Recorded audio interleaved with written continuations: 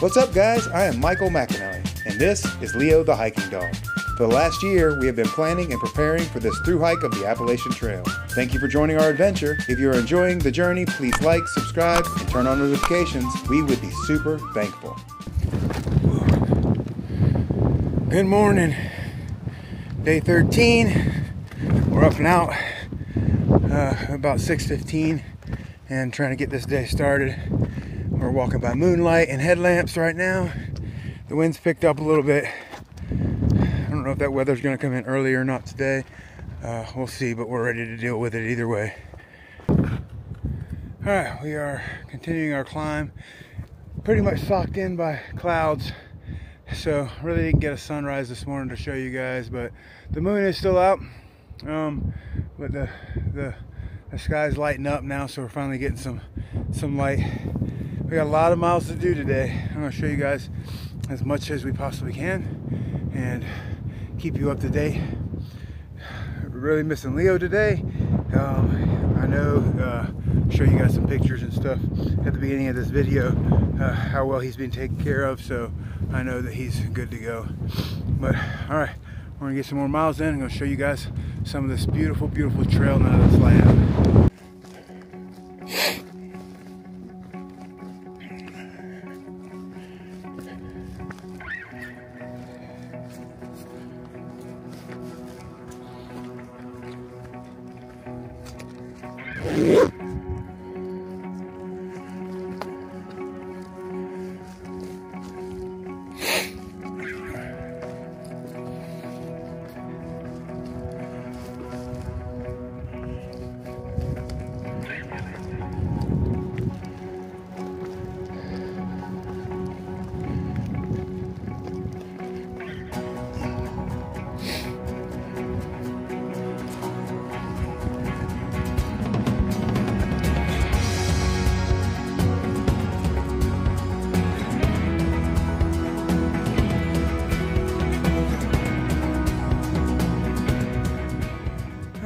Currently standing on Rocky Top, Rocky Top Mountain. This is what the uh, the song is made from. Rocky Top, Tennessee. This is it right here. No views, just clouds, but there are lots of rocks. See the uh, the shrubs here look like they've been groomed perfectly for this trail, like one of those mazes on a movie. We just passed 5,500 feet, which is the highest elevation so far on the AT, for us at least. I've hiked higher in Colorado, yet. Oh, it's different here in the Smoky Mountains. I love it. The weather's holding up for us so far. Hopefully it continues to hold up. But man, look at this path. It just looks perfectly groomed. Like, the landscaper came out here and just cut the trail for us the way that it goes through here. Let me Pop Tart my mustache. I want to talk to you guys a little bit about these Pop Tarts. Oh, I never thought I was going to get sick of any trail food, and everything else that I'm eating is, is good. But the corners of Pop Tarts are so dry because there's no stuffing in there. And when there's no stuffing in there and you're trying to eat a Pop Tart while you're walking, you get dry mouth. And it's disgusting. So I, am going to have to come up with a different alternative in the morning once my Pop Tarts run out. Once my wife stops sending those to replace Pop Tarts in the morning.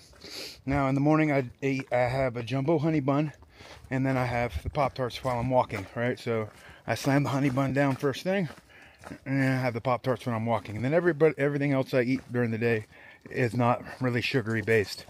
I mean, I have my four bars, which uh, I have a Larabar, a Pro bar, um, and I have two Clif bars during the day. And then I have my ramen and my tuna packets for lunch. And then I have a protein bagel with peanut butter, salami, and cheese, which you guys have seen if you've watched my videos, which is my recovery meal for dinner. Lots of proteins, lots of fats, uh, help my body recover while I'm sleeping. So any suggestions for a replacement for Pop-Tarts in the morning? I'm open to. So y'all leave me some comments down below of some suggestions. Now it has to be two things, right? I have to be able to eat it while I'm walking because um, that's a requirement for second breakfast. I don't stop. I eat while I'm walking. So it has to be pre-packaged and I have to be able to eat it while I'm walking. And also, you know, it has to be able to go in my pocket. Obviously, it needs to be in a pre-packed container. I am not going to prepare it. Um, I'm not going to prepare something to eat while I'm walking. I don't prepare anything in the morning. That helps me keep my morning routine clean and simple. So, all those suggestions be put down below, and uh, I'm looking forward to reading them when you guys see this video.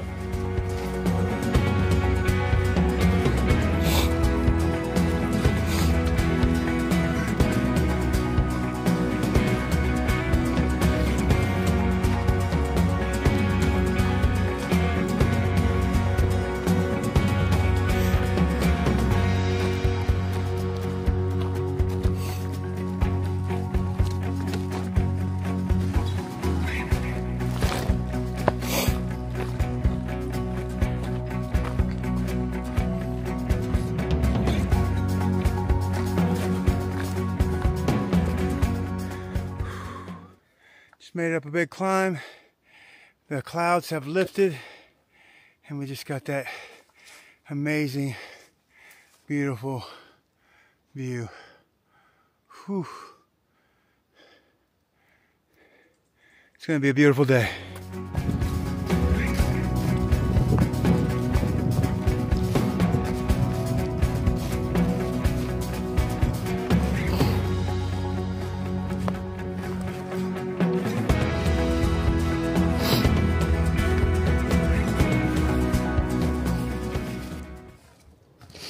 The sun has come out and we're getting some beautiful amazing views again. Hopefully this holds up for the rest of the day. Or at least until we get to the shelter. I don't mind if it rains after that but we probably won't get to shelter closer to four or five o'clock today. The uh it's been a lot slower going today than it was yesterday um, just because your ascents take time but then also with certain descents, you also you have to take real time and watch where your foot placement is. Uh, last thing you want to do is slip and fall and end your hike early. So, uh, being really careful on these descents because they are kind of rocky. A lot of slate rocks up here, uh, and when it's wet, you can step on the wrong thing, or you can step on a loose rock, or you can step on some loose leaves, or roots. There's just so many hazards out here. That's the reason why a lot of times you guys see me holding the camera, I'm looking down because I'm watching my feet more than anything. But, but just see that. Just every now and then you gotta look up because it's absolutely beautiful. It's absolutely beautiful. The Smoky Mountains can be treacherous, but we are super lucky and super blessed because it's been absolutely gorgeous so far. All right, we have good 15 more miles to get in today. We're getting close to five. So I'll give you guys an update in a bit. All right, we are coming up on our fourth shelter of the Smokies. Man, all these shelters seem really, really nice. I mean, if you close these things in, they could be little cabins up here. But here we go. They look pretty much like the rest. A little dirty. Um, people lift stuff up here. That's not cool. But this is the fourth shelter here in the Smokies.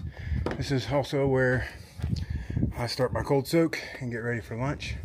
So I gotta figure out where the water is. All right, that was Derrick's Knob shelter. Siler's Bald is the next shelter, but that is the fourth shelter on into the Smokies. They all are pretty much identical.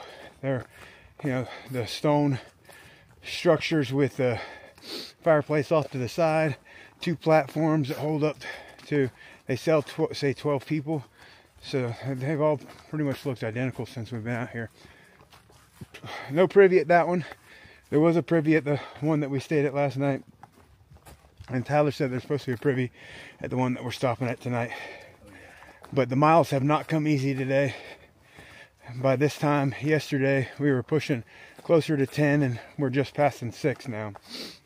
A little bit more elevation, a little bit more climbs. They said the trail gives and the trail takes away. So hopefully it's in a given mood for the rest of the day. Let's see. We'll get these miles in.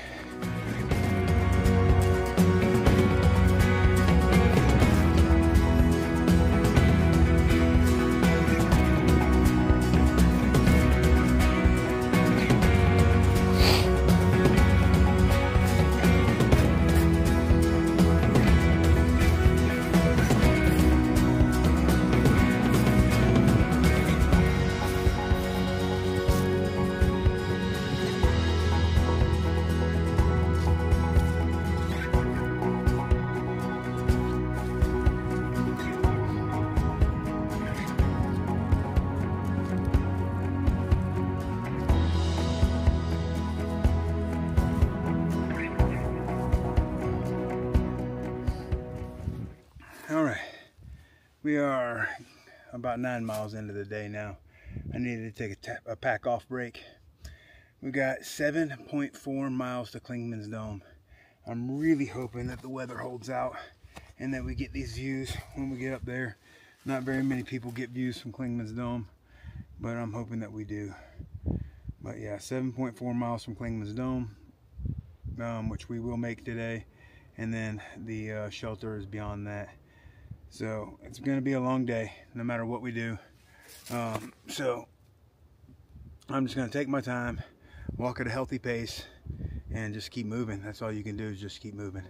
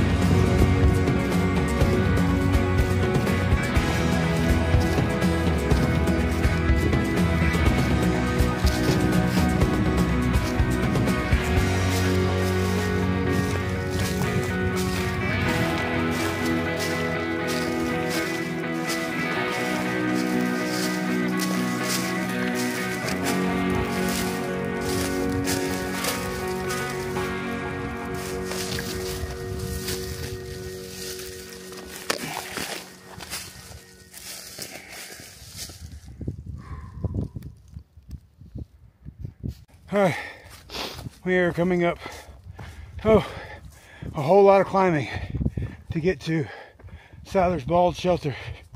Man,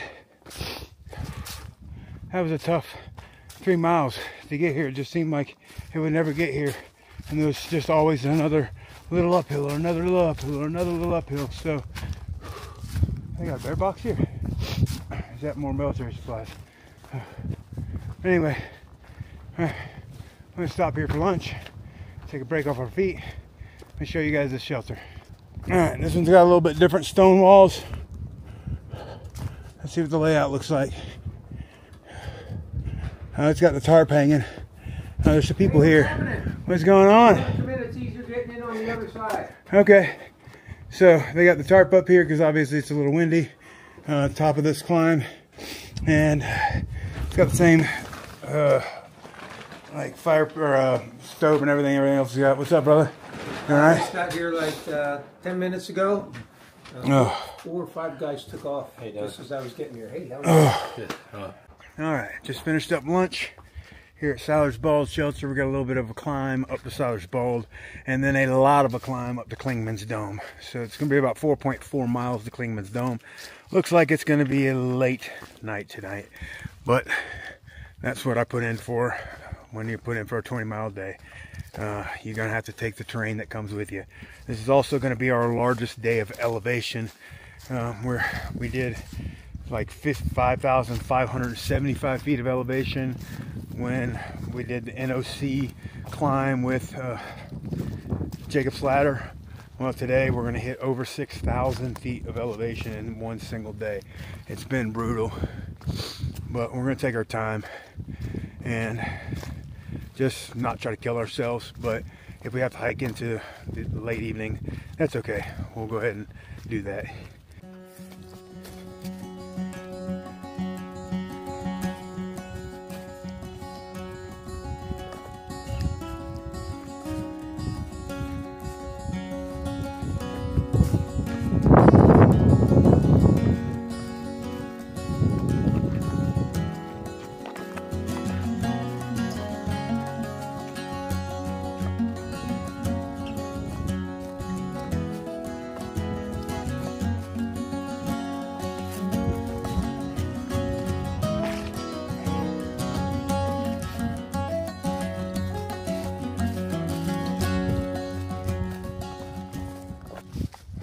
Down Siler's Falls. Got this beautiful ridge line um, right through the trees. You can see the just amazing view. Just an amazing view. I imagine Clingman's Dome is going to be an amazing view, but it's also going to be a lot of work to get there. But we're going to do it. We're going to make it happen. Hopefully I get there before sunset. I'm not going to wait on sunset. Once I get there, we're going to make the climb, get it over, and get to camp because all I want to do when I get to camp tonight is crawl into my sleep system, uh, eat some food, crawl into my sleep system, and get some rest. It's gonna. It's been a long day so far. Um, the train just slows you down tremendously. Yesterday was cruising. Today is definitely uh, go as fast as you can. Clingman's Dome 4.3 miles. 4.3 miles to Clingman's Dome. Normally, I can do a little over two miles an hour.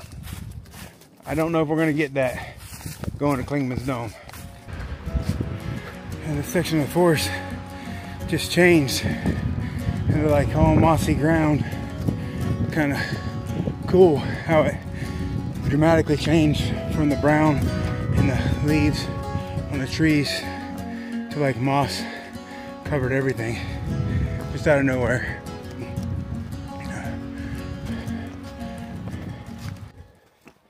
All right, just left the uh, Double Springs Gap shelter. Uh, I didn't show you guys that shelter, sorry. There was a whole bunch of people there. They were more college kids on spring break, which is awesome that they're out here playing in the woods rather than doing something stupid. I like to see that when young people doing good things. But we're making this last climb up to Clingman's Dome. A couple more miles. The forest just kind of changed into that green, mossy, kind of really cool looking scene. So I'm enjoying that. Although I'm not going to enjoy this climb. I think we're going up about 1500 feet of elevation over the next two miles. So it's not going to be straight up like a Jacob's ladder. However, it's going to be a constant up for two miles. All right, we're going to get this thing done and we are going to have a view at Clingman's Dome. We are not going to have rain. I'm speaking it right now. Not going to have rain. We're going to have a view to show you guys. So this big long day is worth it. We are one mile from Clingman's Dome. The anticipation is building one of the most iconic things on the Appalachian Trail. A lot of people don't get views from up here, and we caught it perfectly. Perfect weather window. We're gonna have amazing views, as you can see already out here beside me. It's a little bit windy. Getting a raindrop here too, but no clouds, so I'm good with that. I cannot wait to show you guys. All right, we have made it to the highest point on the Appalachian Trail. We pushed really hard to get here for this weather window.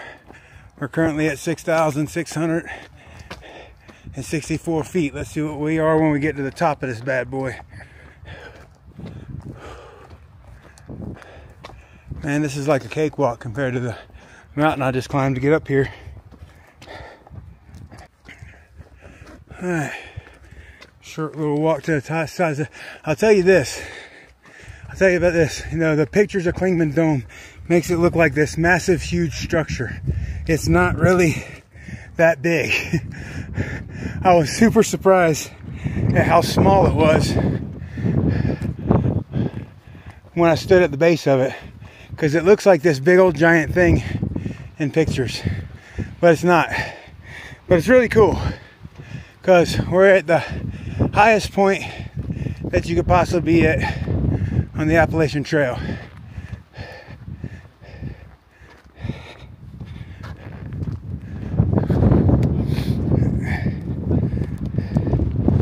Six thousand seven hundred right now. 6,700 feet. Let's see where we are at the top.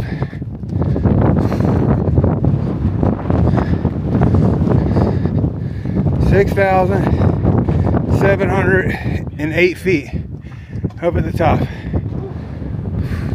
don't know how well you guys can hear this. I'm trying to block the microphone so only you hear my voice, but 360 degree views. I'm walking a circle right now so you guys get the whole experience. Very cool. All right. There's signs here. This is the western view.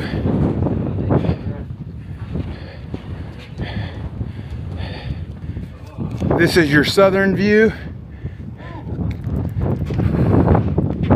Come over here. This is your eastern view. So very cool. And last but not least, that is the northern view. Fantastic. All right. Well, we still have a good three or four miles left in our day. So we're going to take some pictures. Hope you guys have enjoyed it. We really pushed hard to get here in this weather window so that you could have a view. It's absolutely amazing. Guess what that is? We officially hit 200 miles on the Appalachian Trail, day 13. Man, absolutely amazing. 200 miles on the Appalachian Trail, and we celebrated it with a trip to Clingman's Dome. All right, we are descending from Clingman's Uh, we've got a couple miles out to the campsite. This is going to be the longest day so far. We're not going to get there till about 5:30, 6 o'clock, but that's okay. It's going to be just short of 20 miles. I did the 20 mile day into Dicks Creek Gap. This is going to be just short of that. As far as 18 miles go, definitely going to be doing over 20 miles considering the hike up out of last camp, the walks down to water, the walk up to Clingman's Dome. All those are not 18 miles, but just short of eight. There, uh, it's I think 19.6 when we get to camp, and then there's a walk down into the camp. So, but we're pushing daylight, so we're gonna get the last little bit of this climb done the environment has completely changed. It's crazy how the environment changed once we got over 6,000 feet. It's still all that green, mossy, and like cedar type trees. So it's almost like a different type of forest than we were in before, which I imagine it's going to change back once we drop down out of this elevation. We're still at above 6,300 feet of elevation, slowly, slowly descending. Very rocky path, so we can't go too fast. All right, we're going to get the last couple miles in, and I'll show you guys the place where we're going to camp.